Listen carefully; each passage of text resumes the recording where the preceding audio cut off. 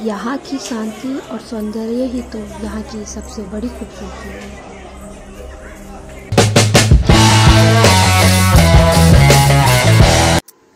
Hello everyone and welcome back to my YouTube channel miss frustrated और जो पहली बार मेरे चैनल पर आए हैं, उनका हार्दिक स्वागत करती हूँ मैं।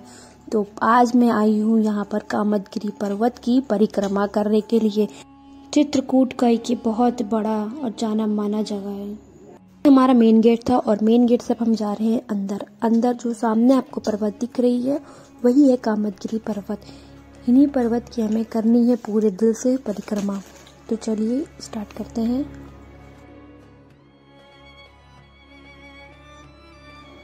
परिक्रमा हमारी स्टार्ट हो चुकी है और आपको बता दें, ये आगे आप मंदिर जो देख रहे हैं, इधर लेफ़्ट साइड में, ये कामतानाथ भगवान की मंदिर है। तो एक बात और ध्यान रखना है, परिक्रमा करते वक्त आपको बंदरों से सावधान रहना है, वहाँ पे बहुत बंदर हैं। तो चलिए अब बाकी की बातें आगे करते हैं।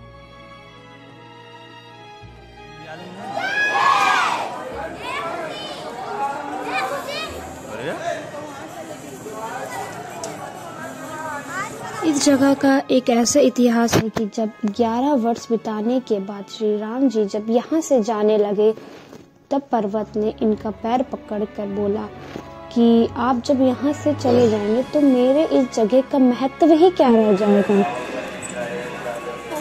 तब प्रभु श्री राम ने उनकी बात को पूरे सच्चे दिल से सुना और समझा और एक उनको आशीर्वाद दिया कि मैं इस पर्वत पे हमेशा यहीं मिलूँगा और यहाँ पे जो भी इस पर्वत की परिक्रमा करेगा, उसकी हर एक मनोकामना पूर्ण होगी। तो इसी वजह से इस जगह का नाम रखा गया कामतगिरी पर्वत। एक ऐसा पर्वत, एक ऐसा पहाड़ जहाँ पे परिक्रमा करने से आपकी सभी मनोकामना पूरी हो जाती है। चित्रकूट बहुत सी चीज़ों की वजह से जाना जाता है। परिक्रमा तो हमने जान चुका। अब हम जानेंगे भरत मिलाप के बारे में, जो कि भरत मिलाप त्रेता युग में हुआ था। भरत जी और प्रभु श्री राम जी के बीच में। तो ये वही जगह है जहाँ पर हुआ था उनका भरत मिलाप, और आज भी उनके चरणों के चिन्ह वहाँ पे मौजूद हैं। कहा जाता है कि जब उनका भरत मिलाप हुआ था तो वो देखकर पत्थर भी पिघल गए थे, जिस वजह से उनके चरणों के चिन्ह आज भी यहाँ पर मौजूद हैं।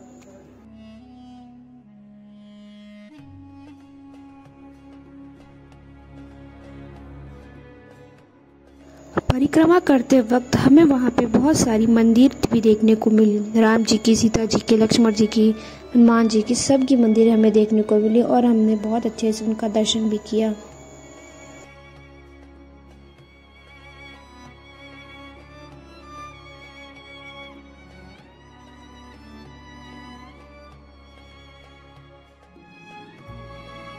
पूरी परिक्रमा करने का जो टोटल डिस्टेंस रहता है, वो लगभग पाँच किलोमीटर होता है। पाँच किलोमीटर से ज़्यादा ही होता है।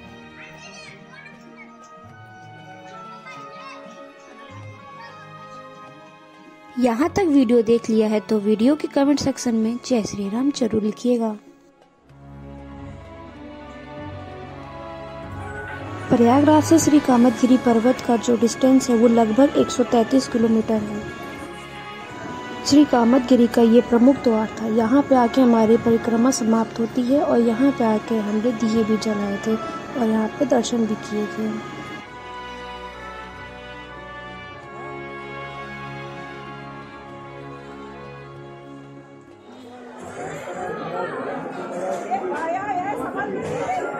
वीडियो होती है यहीं पर ख़त्म। और मेरी कोशिश यही रही है कि मैं आपको साथ में सीन दिखाऊँ और आपको यहाँ की जानकारी भी दूँ।